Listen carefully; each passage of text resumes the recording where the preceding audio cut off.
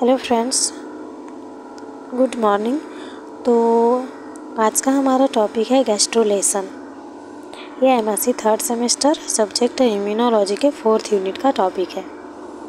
Synopsis से हम लोग स्टार्ट करेंगे. साइनोप्सिस में है introduction definition gastrula salient feature of gastrulation process of gastrulation consequence conclusion और रेफरेंस तो सबसे पहले इंट्रोडक्शन देखते हैं। गैस्ट्रोलेशन एम्ब्रॉयनिक डेवलपमेंट के दौरान होने वाली एक इंपॉर्टेंट प्रोसेस है, जिसमें एक single layer blastula embryo embryo multiple layer of cell वाले गैस्ट्रोला में चेंज हो जाते हैं। इसे गैस्ट्रोला कहा जाता है। गैस्ट्रोला में सेल की थ्री लेयर बनती है, जिन्हें जर्म लेयर कहते हैं। ये एक्टोडर्म और एंडोडर्म एंड मीजोडर्म कहलाती है। गैस्ट्रोला में एक कैविटी का फॉर्मेशन होता है जिसे गैस्ट्रोसील कहते हैं और जिसे प्रिमिटिव गड भी कहा जाता है। अब सेकंड हम लोग देखेंगे डेफिनेशन गेस्ट गेस्ट्रोलेशन प्रेगनेंसी के तीसरे वीक के दौरान होने वाली विशिष्ट घटना गेस्ट्रोलेशन कहलाती है। And ectoderm azo skeleton mesoderm बनता है। फिर देखेंगे गैस्ट्रोला क्या होता है। ब्लास्टोला से ग्रेस्टोला बनने की प्रोसेस गैस्ट्रोलेशन कहलाती है, जिसमें जिसमें ब्लास्टोला सिंगल लेयर का होता है, जो चेंज हो जाता है गैस्ट्रोला में, जो कि मल्टीपल लेयर का होता है। या डिप्लोब्लास्टिक एनिमल है तो डबल लेयर का होगा और ट्रिप ट्रिप्लोब्लास्टिक एनिमल है तो थ्री लेयर का होगा। डिफरेंट कॉर्डेट्स में इसकी स्ट्रक्चर डिफरेंट होती है। गैस्ट्रोला में थ्री लेयर की गैस्ट्रोला थ्री लेयर की बनी होती है, जिसके बीच में एक कैविटी पाई जाती है। Phase of cell of germ layers इसमें है एक्टोडर्म मीजोडर्म और एंडोडर्म तो एक्टोडर्म कैसे मिला होता है?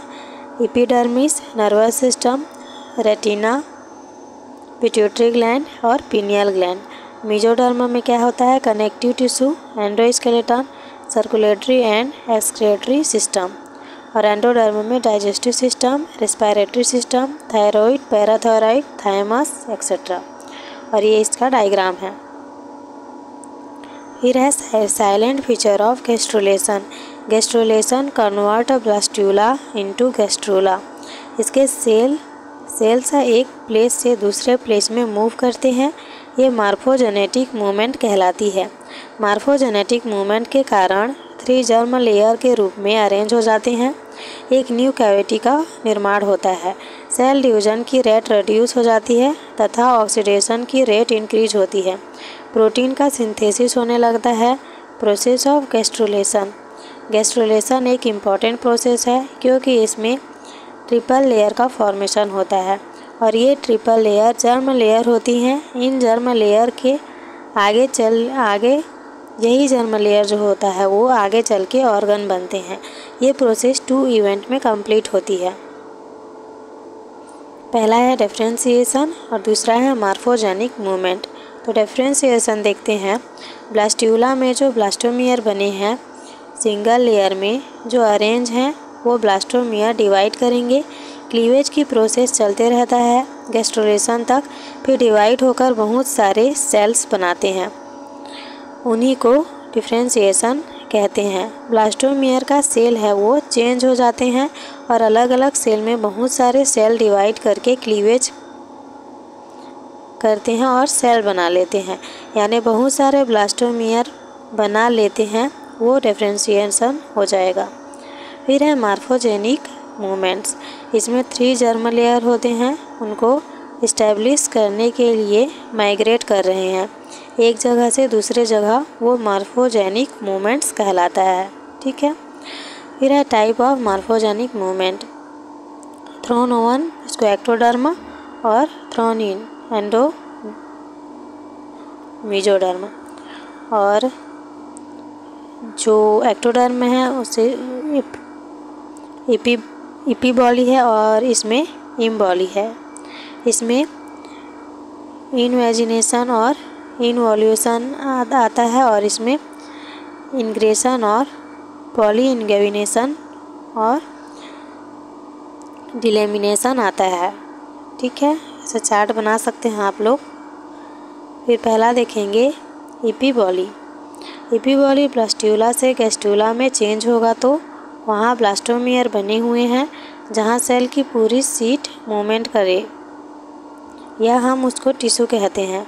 इसमें सेल की पूरी सीट एक साथ अरेंज हो अरेंज होती है और ऊपर की ओर जाने तो इस तरह का फॉर्मूला को इपीबॉली कहते हैं और इसमें एक्टोडर्म बनेगा, क्योंकि बाहर की ओर मूव करता है। और ये sea urchins tunicates and amphibians में पाए जाते हैं, ठीक है? डायग्राम आप लोग बनाएँगे। फिर है इम बॉली में इमेजिनेशन कोई सॉफ्ट रबर की बॉल हो और उसके अंदर होलो हो या फिर यह प्लास्टूला है, उस बॉल को अगर टेंचर से प्रेस करें तो एक लेयर अंदर की ओर चली जाती है, इसी को इन्वेजिनेशन कहते हैं। इसमें एंडोडर्म का फॉर्मेशन होता है। इसका एग्जांपल है सी अर्चिन में एंडोडर्म बनते हैं। फिर है इन वॉल्यूशन इसमें कोई आउटर लेयर इसको फोल्ड करते हैं अंदर की ओर तो एक न्यू डर्म का निर्माण होता है जिसे मिजोडर्म का फॉर्मेशन हो जाता है। इसमें ल्यूमन लाइक स्ट्रक्चर नहीं बनती है। फिर है इनग्रेशन ये माइग्रेशन वर्ड से माइग्रेशन में one place to another place में जाना था और माइग्रेट करना था और इन लगा दिए तो अंदर की ओर माइग्रेट करना है। इनग्रेशन में केवल एक सिंगल सेल माइग्रेट करते हैं, उसे ही इनग्रेशन कहते हैं। इसका एग्जांपल है सी अर्चिस में मिजोडर्मा बनते हैं। फिर है डिलेमिनेशन ये वर्ड लेमिनेशन से लिया गया है।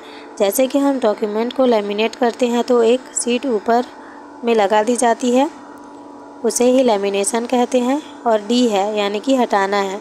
डी लेमिनेशन है तो इंग्रेशन से मिलता है। इंग्रेशन में सिंगल सेल से माइग्रेशन हो रही है, लेकिन अगर पूरी सीट की माइग्रेशन होगी तो उसे डी लेमिनेशन कहते हैं। ठीक है। इसका एग्ज़ाम्पल है hypoblast formation in birds and mammals फिर आगे देखते हैं कॉन्सिक्वेंस इसका डायग्राम आप लोग बना लीजिएगा। आगे देखते हैं। गस्ट्रोलेशन की प्रोसेस में एम्ब्रायनिक टिश्यू का फॉर्मेशन होता है, जिन्हें जर्म लेयर्स कहते हैं। इसमें एम्ब्रायनिक कट एंड एग्जेटेरॉन की फॉर्मेशन होती है। यह मेजर बॉडी एरियाज़ की उपस्थिति है। फिर है कंक्लूजन ओवरऑल स्टडी से हमें पता चलता है कि गैस्ट्रोलेशन एम्ब्रॉयनिक डेवलपमेंट के दौरान होने वाली एक इंपॉर्टेंट प्रोसेस है। इसमें ब्लास्टूला एक सिंगल लेयर में होता है, जो मल मल्टीपल लेयर वाले सेल में चेंज हो जाते हैं। इसे गैस्ट्रोला कहा जाता है। और रेफरेंस है इसमें reproductive physiology by गैटोन by net. तो अगर वीडियो अच्छा लगा हो तो please like, share and subscribe. And thank you for watching.